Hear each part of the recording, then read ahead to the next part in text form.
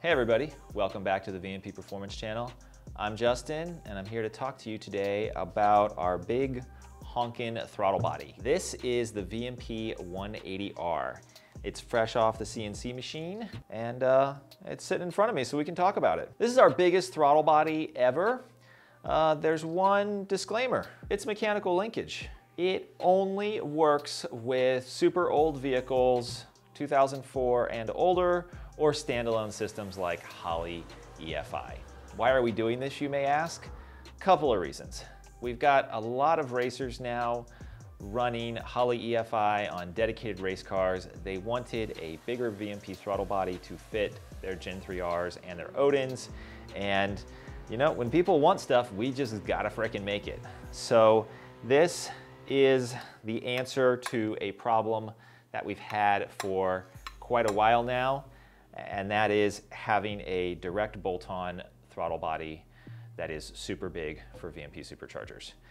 Over here, I have some older parts. This is our Terminator GT500 bolt pattern single blade mono blade throttle body. So a lot of people were using this, uh, like Cody Cheney has one of these on his Gen 3R just to get him off and running. And this is a really nice setup um, for like the smaller 4.6 Cobra engines, they don't move as much air. The big 5.4, 5.8, even the 5.0 Coyote, it needs all the air in the world. And when we designed the Gen 3R, like two or three years ago now, it's been out for a while, I made the opening size really, really big with the intention of doing a larger throttle body in the future. And uh, that future is today. There's one thing you may ask. Why are we not making an electronic VMP 180R throttle body? Well, the truth is these big frickin' blades, they're really hard for the electronic drive-by wire motors to actuate. Right off idle, they get really pissy. At wide open throttle, they get unhappy and they randomly close. So we just decided to stay away from that for now and stick to the mechanical linkage so we can get our racers taken care of with the Holley EFIs and such. When you go to install this throttle body, you are gonna have to use this adapter plate because there's, there's, there's some like things about designing and building throttle bodies.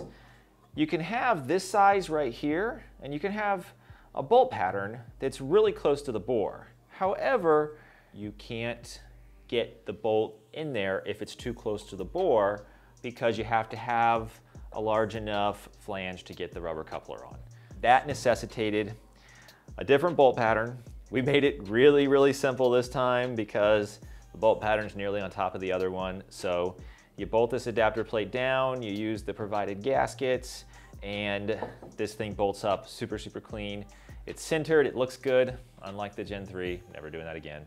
And we do have these silicone couplers available if needed. This one adapts to a JLT 148 this one adapts to a JLT 123. I don't know why you'd run a cold air that small with a throttle body this big. If you do have a standalone, it's speed density and you're probably not gonna be running a cold air. We had these on the shelf, so I wanted to mention that they would fit. One thing to keep in mind, we're eventually going to drill the Gen 3R and the Odin with this extra bolt pattern, so eventually you won't need this guy anymore.